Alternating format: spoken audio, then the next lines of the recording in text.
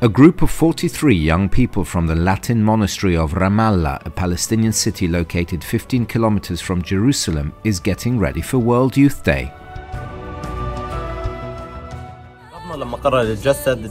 When our Lord decided to become flesh, he did it in the Holy Land. Let us start from here and join with the young people from all over the world to meet Pope Francis. God chose this land to be his only son's birthplace.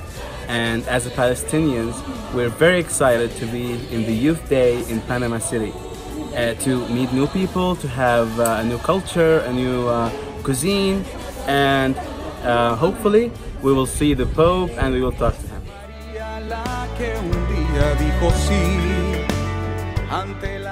To live well the World Youth Day, this group took part in the catechesis hosted by the spiritual director of youth in Palestine, Father Bashar Fawadleh.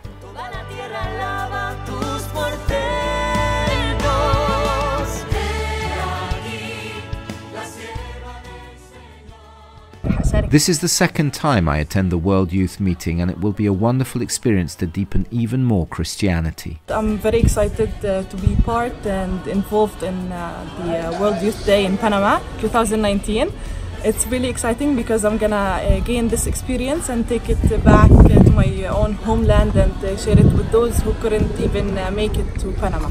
أنا جدا سعيدة ومتحمسة إنه راح أكون جزء I am very happy and excited to be taking part in World Youth Day in Panama because Christianity is an integral part of our identity.